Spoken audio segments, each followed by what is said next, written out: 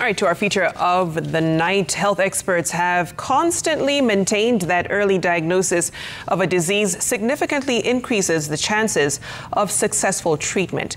A new frontier in medicine is promising to turn the tide in early detection and prevention of diseases. Genomics, which is the study of genes, is making it possible to predict, diagnose, and treat diseases more precisely and allows personalized treatment of patients. Well, scientists in Kenya are in the forefront on looking for ways to actualize the much needed therapies, especially for cancer patients, in order to save more lives and resources that are spent by patients traveling abroad for treatment. Well, this story was produced by our reporter, Emily Chebet. Dr. Alan Njau, a pathologist and an assistant professor at the Aga Khan University Hospital, patiently examines his patients' tissue samples. This is what he does almost on a daily basis for cancer patients who depend on doctors with the hope of a better tomorrow. Dr. Njau is one of the champions of genomics treatment that he says will save many Kenyans through tailor made treatment to individuals based on their genes.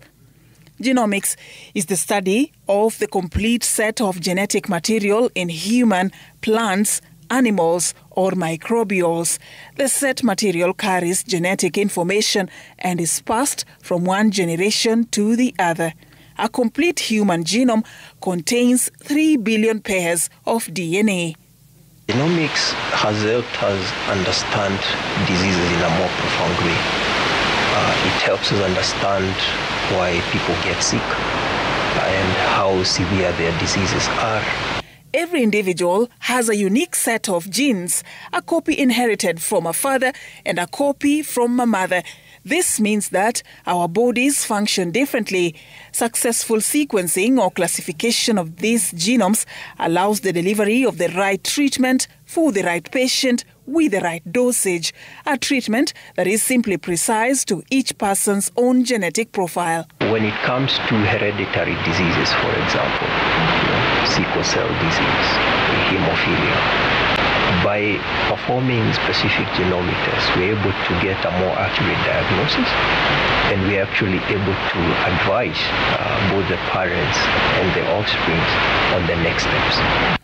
Cancer starts in just one ordinary healthy cell, and according to scientists, the targeted therapies is aimed at combating specifically the cancerous cells, a move that is likely to be less toxic for patients compared to other treatments such as chemotherapy and radiation that can kill even normal cells. The biggest driver for genomics in cancer is actually precision medicine.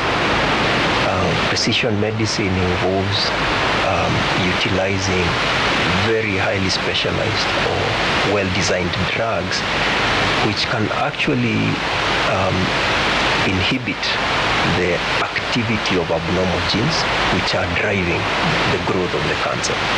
The first Illumina Genomics workshop in Kenya brought together scientists from Africa and beyond in a bid to chart a way forward towards a possible achievement of this promising field as soon as possible and the need for Africans to add more diversity in the genomic databases. All the studies that have been done for breast cancer drugs are actually done on Caucasian patients. So that those drugs are very uh, effective on Caucasian uh, you know, patients. But when you come to Africa, the same drugs are not really working very well. The, there is maybe a potential that those drugs are not really reacting with our genetics. A lot of diseases, including cancers, are caused by alterations in our genes, and genomics has the potential to identify the alterations which doctors can eventually take action to delay or even to stop the disease from developing altogether. Imagine this to be the accelerator of your car. You know, this is what a driver does.